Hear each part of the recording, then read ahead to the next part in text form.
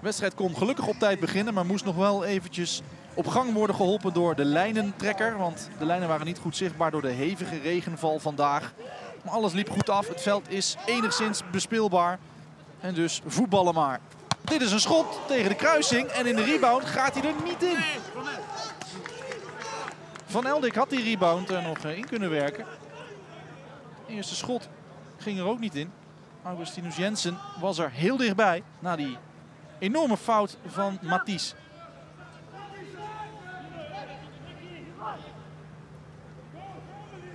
Labiel. Smeets duikt daarop en Smeets kan hem daar net genoeg verlengen. En dus staat MVV met de eerste serieuze poging op doel ook meteen op voorsprong.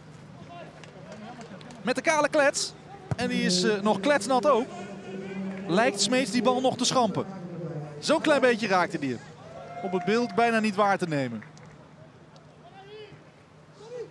Agustinus Jensen. Weer met zo'n knal en nu gaat hij er wel in. Voor de Deen. En zo komt een kleine vijf minuten voor rust. Utrecht al heel snel met het antwoord. Van Eldik. Hakje. Op Augustinus Jensen is goed. Die gaat de 16 in de Deen voor zijn tweede. Daar ging hij wel voor. Met zijn linker richting die korte hoek.